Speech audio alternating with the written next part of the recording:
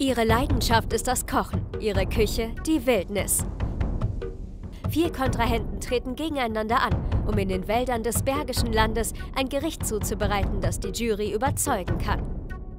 Sie alle wollen das goldene Warzenschwein ergattern, doch es kann nur einen Sieger geben. Das ist abgebrüht. Frances Kahn, Waisenkind aus Nebraska. In der Grundschule wurde sie gemobbt, weil sie als einzige einen Führerschein besaß. Wenn sie Gummi hört, denkt sie an Reifenabrieb. Ihr Zuhause der Highway, ihre Mission Jesus. Cobra Kyle, 74 Inches Kampfgewicht. Seit seine Frau von einem Truck überfahren wurde, hat der gelernte Friedhofsgärtner sich dem Überleben gewidmet. Wenn der 30-Jährige eines nicht leiden kann, dann ist es Pepsi Zero in der Wüste. Sein Lebensmotto ist, lieber eine Schlange im Schuh als eine tote Ehefrau. Katinka Bell. Perfektionistisch, individualistisch, opportunistisch. Als die 27-jährige Verwaltungsfachangestellte als kleines Mädchen einen Waldspaziergang gemacht hat, hat sie sich geschworen, noch einmal wiederzukommen. 30 Jahre später ist es nun soweit. Ihre Kollegin meint, im Großstadtdschungel ist Katinka zu Hause. Im echten Dschungel nicht so sehr. Aber ich wünsche ihr alles Gute und viel Spaß. Ralph Foreman, der vierte Kontrahent. Kontrahent Nummer 4. Vorname Ralph, Nachname Foreman. Er hat zehn Jahre lang als Koch in einem tschechischen Labor gearbeitet. Auch hier möchte er nun als Koch punkten.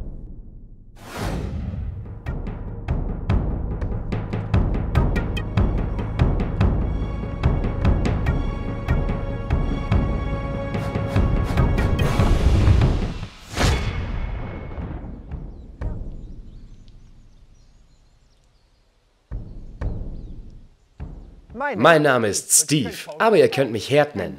Und ich bin Melinda. Wir bei Abgebrüht nehmen die Verfassung sehr ernst. Deshalb gibt es auch nur zwei Regeln. Euer Gericht darf nicht giftig sein und ihr müsst euch an die Verfassung halten. Ihr alle sucht euch gleich einen Beutel mit drei zufällig ausgewählten Zutaten aus. Es kann sich wirklich um alles handeln. Fruity Loops, Käse aus der Tube oder sogar Gemüse.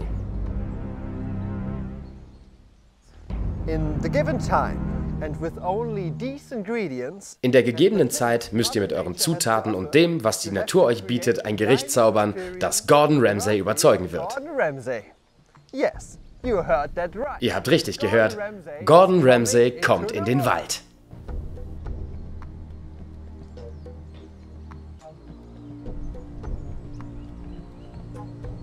Cook-Off-Champs, macht euch bereit. Eure Zeit läuft ab. Now. Jetzt. Jetzt.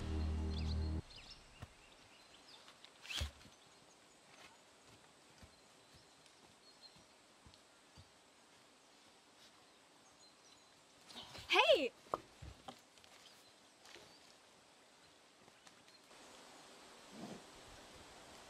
Es ist wichtig, früh Dominanz zu zeigen.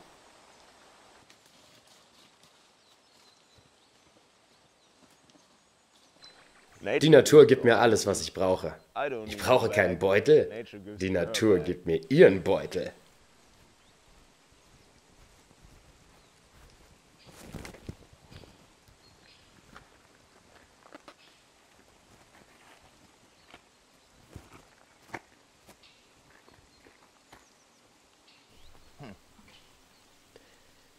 Ich kenne diese Frucht.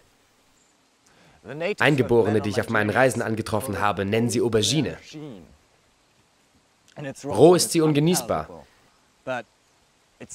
Sie eignet sich perfekt zum Grillen oder zum Abrunden von pochierten Eiern. An eggplant, if you will.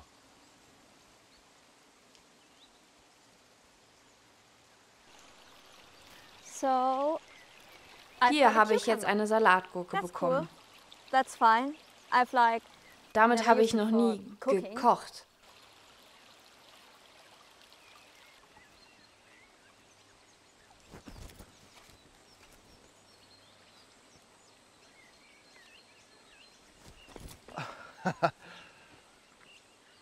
Ich glaube, das ist ein guter Platz zum Entspannen.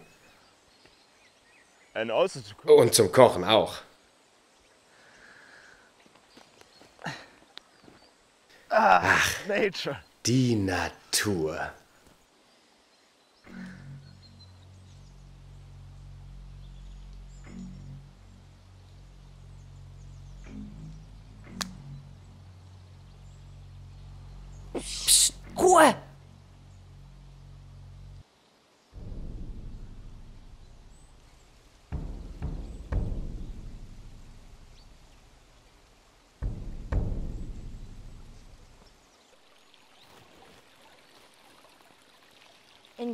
Zutaten 100% Couscous.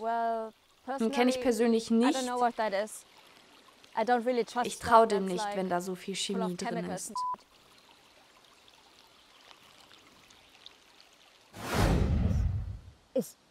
Sitzt Ralf da jetzt einfach unter dem Baum? Ja, der sitzt wirklich da. Er scheint wohl nicht gewinnen zu wollen. Er hat sich ja auch keinen Beutel genommen. Ich glaube, Ralf hat einen Plan. Warten wir noch ab. Geben wir ihm ein bisschen Zeit.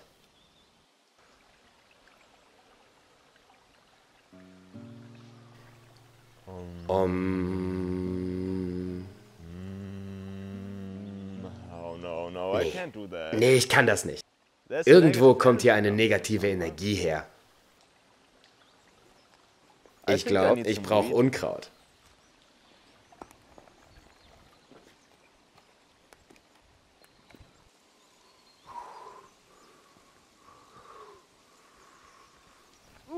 Wow!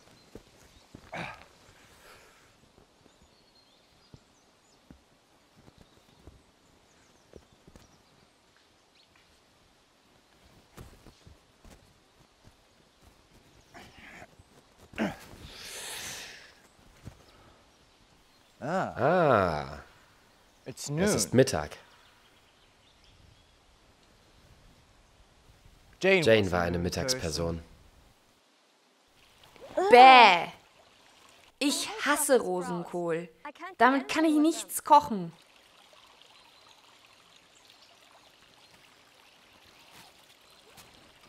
Zu Hause koche ich eigentlich immer kalt. Avocado-Creme mit Cashews. Was soll ich mit diesem Rosenkohl?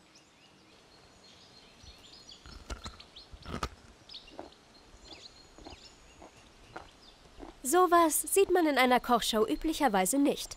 Wird das Francis den Sieg kosten? Ihr verscheucht das Wild. Ich bin auf der Jagd nach einem Hirsch.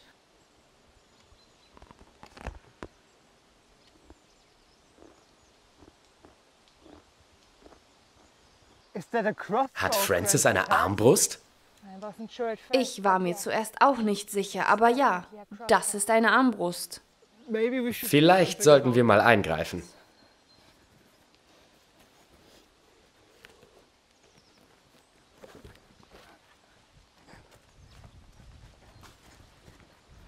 Francis? Francis, du kannst dir keine Armbrust haben. Wir kommen jetzt zu dir hoch.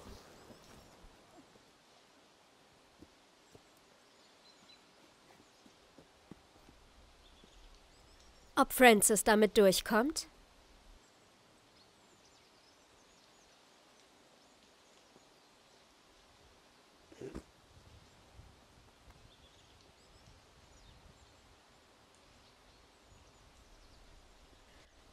Es dauert nicht lange, bis die anderen im Camp von der Sache Wind kriegen. Was ich davon halte, dass Francis eine Armbrust dabei hat? Es zeigt absolut keinen Sportsgeist, wenn ihr mich fragt. Dann hätte ich mir ja auch einfach einen Campingkocher mitschmuggeln können. Aber ich denke, sie kommt sowieso nicht weit mit ihrer Armbrust. Was man für Survival wirklich braucht, sind Nahkampfwaffen.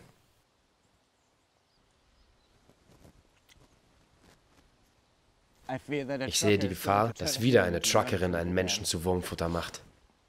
Hey Cobra! Cobra Kyle! Coil! Hey, Cole. Hast du vielleicht ein bisschen Stinktier für mich?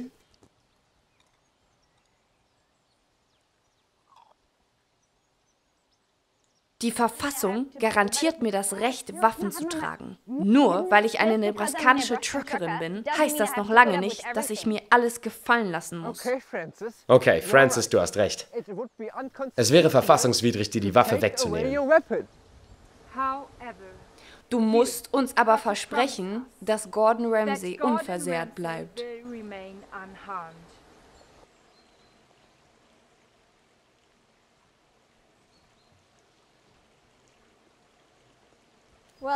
Unsere Verfassung ist nun mal unsere Verfassung. Eigentlich wünsche ich Frances sogar, dass sie ein wildes Tier schießt. Ihre anderen Zutaten isst sie ja auf.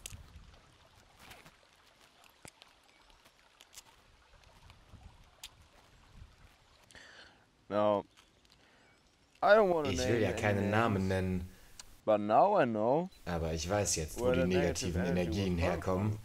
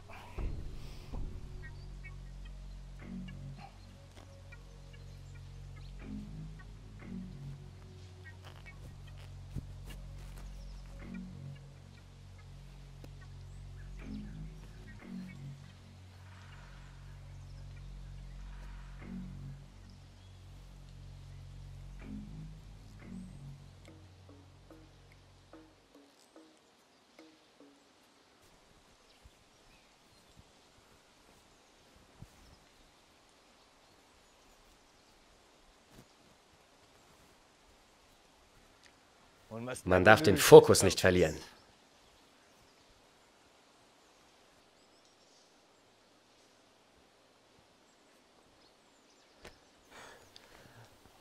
Ich bekomme ein bisschen Hunger. Ich hole mir jetzt etwas zu essen.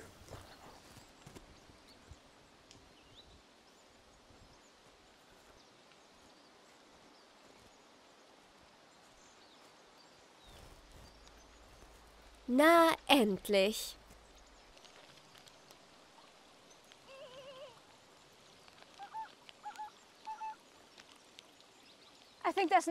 Ich glaube, hier ist ein Tier in der Nähe. Darauf war ich nicht vorbereitet. Ich habe gelesen, dass manche Menschen schon von Tieren getötet wurden.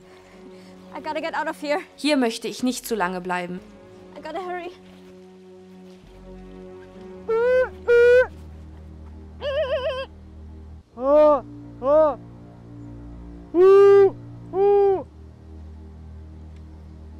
Ein alter Jägertrick. Ich ahme die Geräusche der Beutetiere eines Hirsches nach. Das soll den Hirsch anlocken.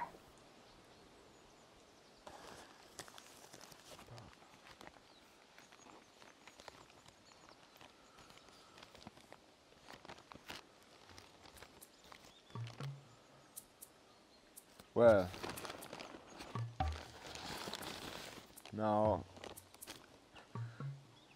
da muss ich mich jetzt aber zusammenreißen.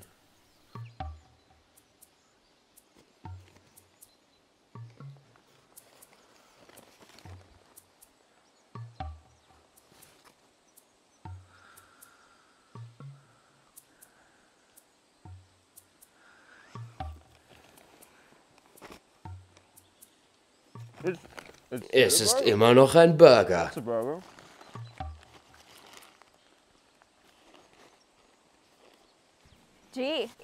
Du bist ja wie Francis.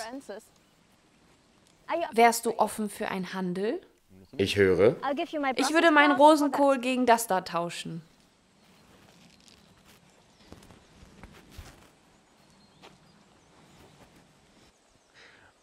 Rosenkohl. Das ist Brokkoli. Gordon Ramsay würde niemals Brokkoli ausspucken.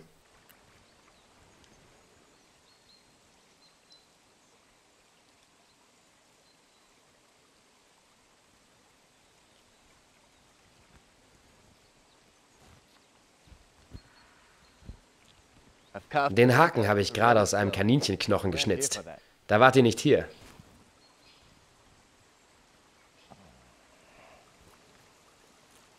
Ein Blatt. Fische lieben Blätter.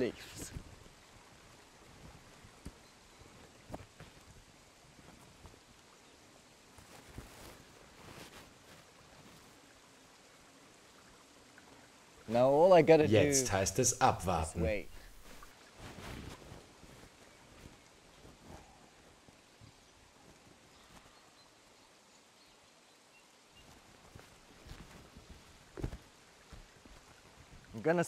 Ich stehe hier im Fluss, wecke die Fische auf und sage ihnen, dass Essenszeit ist.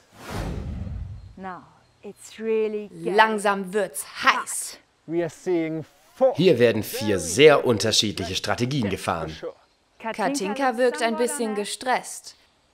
Ich weiß nicht, ob sie weiterhin einen kühlen Kopf bewahren kann. Ich muss sagen, wenn jetzt nichts schief läuft, rechne ich Cobra Kyle die größten Chancen aus.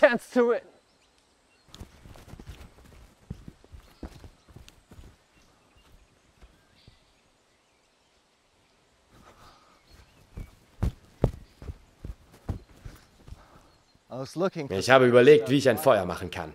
Alles, was ich dafür brauche, sind meine Brille und die Sonnenenergie.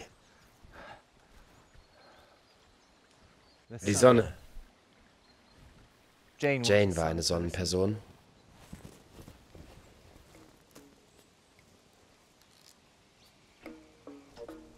Cobra Kyle scheint den Bogen rauszuhaben.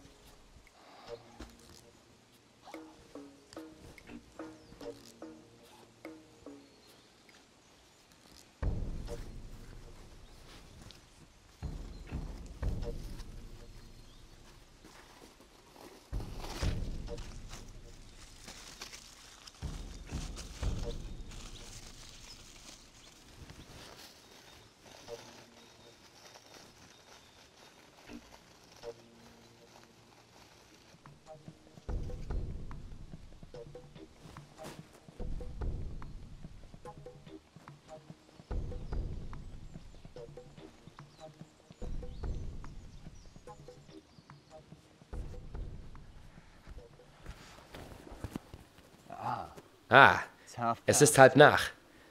Ich habe die Sonne nur umgestellt, weil die Sonne sich bewegt hat und die Uhr im Schatten stand. Ihr versteht schon. Ich muss mich beeilen.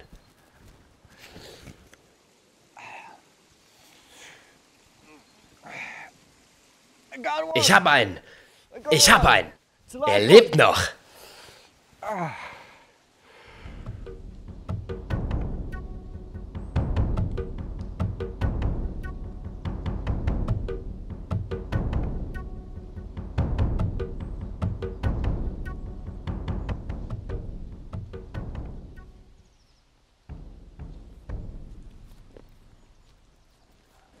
Willst du vegetarisches Mehl haben? Sojamehl habe ich hier. Später. Ich habe einen Vorschlag. Siehst du das?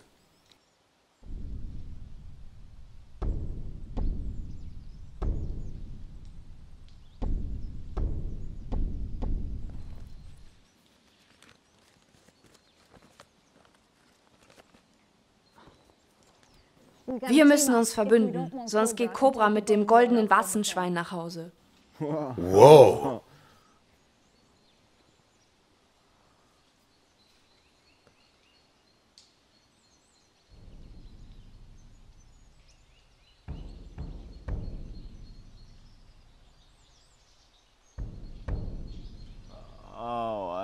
Ich glaube, Katinka und Coil verbünden sich auch. Ich würde alles dafür geben, wenn du mich dein Feuer benutzen lässt. Das geht nicht. Ein Gourmetkoch braucht seine Flamme. Ich kann Gordon Ramsay den Couscous nicht roh servieren. Ich bin nicht für den Wald gemacht. Schau, ich habe Seidenstrümpfe an. Wenn ich dein Feuer benutzen darf, dann vermache ich dir mein ungeborenes Kind.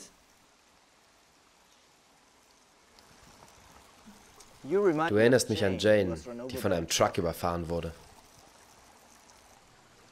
Ich weiß noch nicht, was ich mit einem ungeborenen Kind anfangen soll. Ich kenne keine Rezepte. Das Seil haben wir von Melinda und Herd geklaut. Ist ja nicht verboten, oder? Doch, doch, schon. Wenn Cobra Kai den Salat, den Köder, hier sieht, wird er ihn pflücken wollen. Und dann, schnapp, zack, sitzt er in der Falle. Das sollte uns Gelegenheit genug geben, seinen Fortschritt zunichte zu machen. Die Moderatoren unterdessen machen unbehelligt ihre Pause. Aber die Wildnis wartet auf niemanden.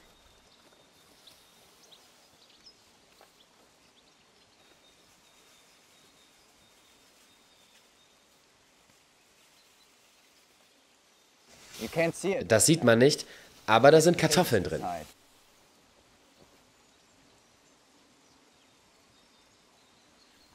Oh, ich habe das Grünzeugs vergessen.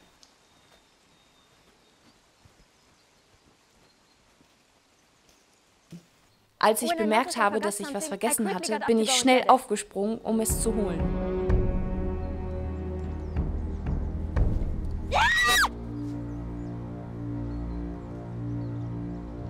Die Falle ist zugeschnappt. Los, los!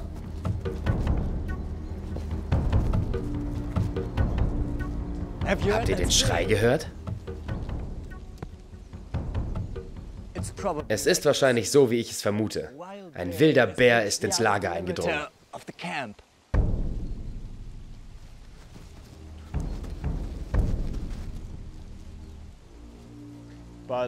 Aber wenn Coil hier ist, wer ist dann in der Falle?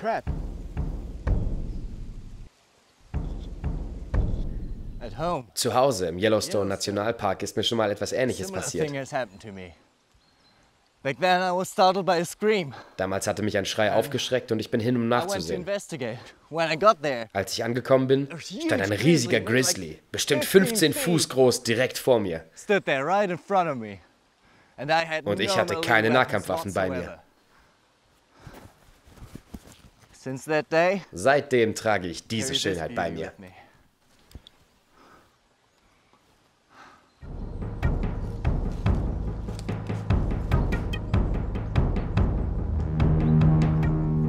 Hilfe! Das könnte hässlich werden. Einen Zwischenfall wie diesen können wir nicht tolerieren. Wenn die Gemüter derart überkochen, ist es für dich, Francis, Zeit zu gehen. Dein Ei ist schlecht geworden.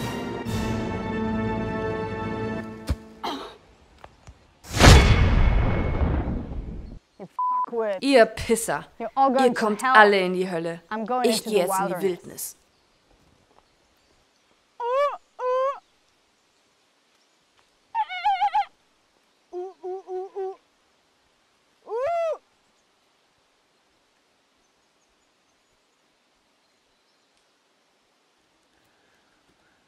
Es ist unfair, dass Francis verstoßen wurde und ich nicht. Francis, wenn ich abgebrüht gewinne, dann ist es nicht nur mein Sieg. Es ist unser Sieg.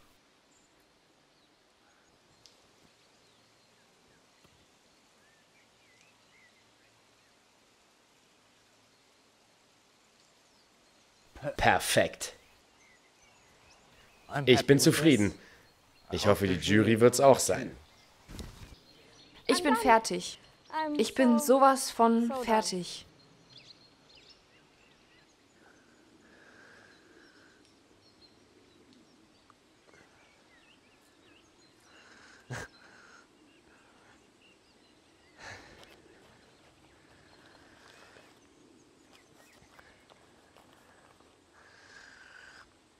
Voilà, voilà Namaste. Mr. Ramsay? Mr. Ramsay, Essen ist fertig. Cook-Off Champs, es ist Mahlzeit. Ihr alle habt heute alles gegeben. Doch nur einer von euch wird heute mit dem goldenen Warzenschwein nach Hause gehen.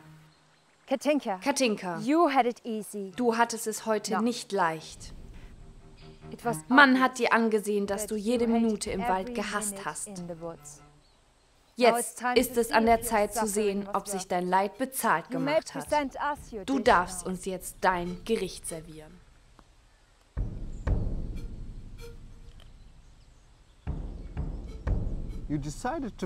Du hast auf ein traditionelles Geschirr verzichtet. Das finde ich sehr mutig.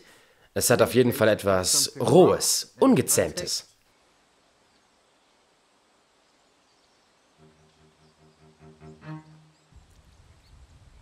Eine Herausforderung zum Essen.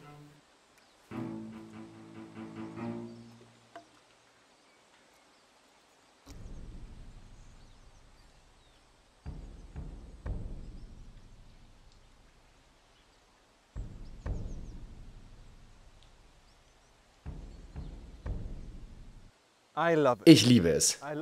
Ich liebe es, mit welcher Hingabe du heute hier dein Essen präsentierst. Dein Couscous ist nicht ganz durch, sondern medium rare, wie ich es bevorzuge. Aber es erlaubt mir nicht zu sagen, well done, gut gemacht. Bevor ich dein Gericht probiert hatte, Katinka, war ich sehr skeptisch. Ich bin gegen Hülsenfrüchte allergisch und wollte daher erst gar nicht vom Couscous probieren. Ich bin sehr froh, dass ich mich anders entschieden habe. Cobra Kyle. Mit nur Kieselsteinen auf der Uhr hast du es gerade noch rechtzeitig geschafft. Als Überlebenskünstler hast du heute allen gezeigt, wie Kochen geht. Dabei hast du nicht nur dein Können bewiesen, sondern auch deine Barmherzigkeit. Du darfst uns jetzt dein Gericht servieren.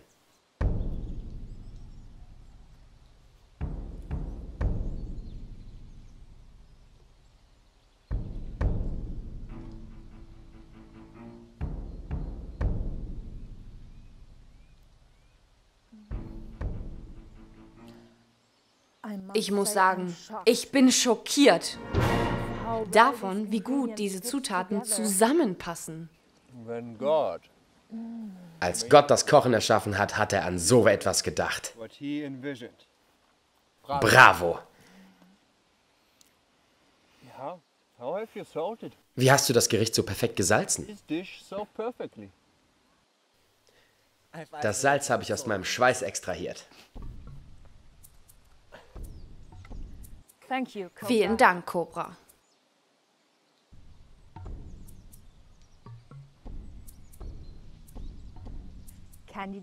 Kandidat Nummer 3. Dein Gericht haben wir noch nicht probiert. Das machen wir jetzt. Du darfst uns jetzt dein Gericht servieren, Ralf.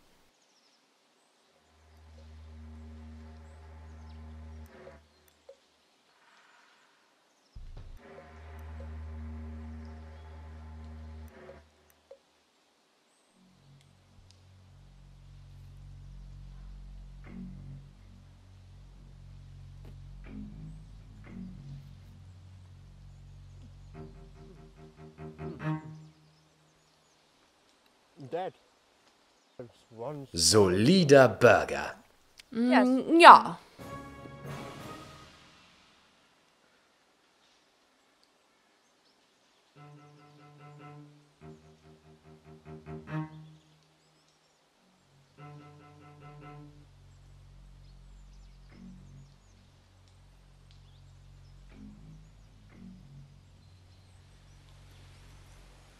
Was ist denn jetzt mit Gordon Ramsay? Wir haben eine Entscheidung getroffen. Ralf, dein Burgerbrötchen hat wirklich gut geschmeckt. Fantastisch, dass du das im Wald so hinbekommen hast. Deine Leistung reicht aufgrund von gewissen Komplikationen jedoch leider nicht für den Sieg aus.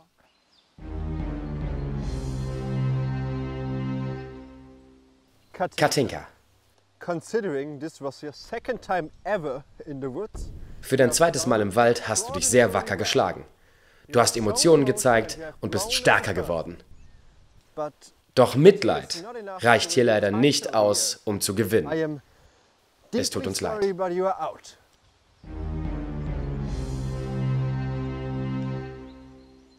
Cobra Keil, Wir bei Abgebrüht sehen es sehr gerne, wenn jemand Schweiß und Tränen in seine Arbeit steckt. Doch du, Cobra, hast das zu wörtlich genommen.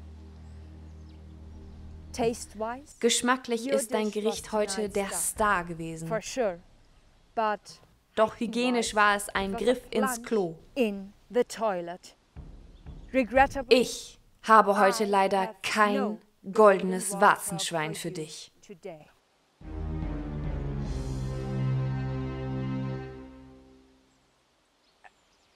Und wer verlässt den Kampf als Sieger?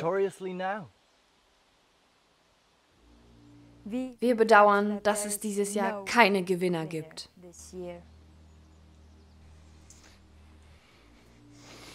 Wollen die mich verarschen? Ich habe hart gearbeitet.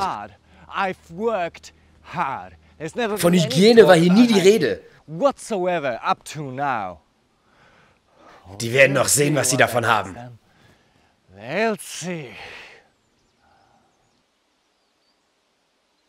Was ist denn jetzt mit Gordon Ramsay?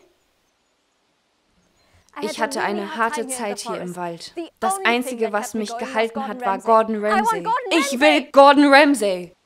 Gordon Ramsay wird nicht kommen.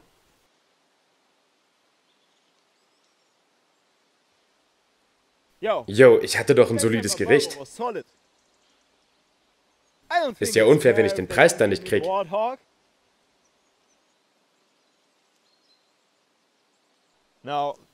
Geht voll gar nicht klar.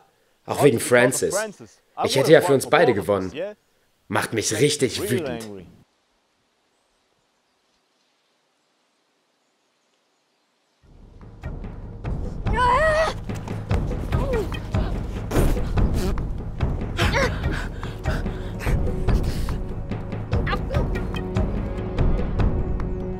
Sie hat es verdient.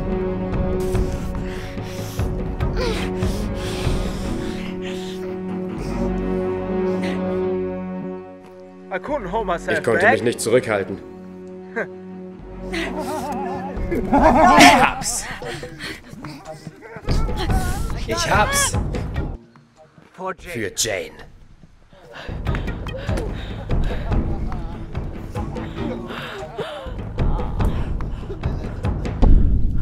Das war Abgebrüht.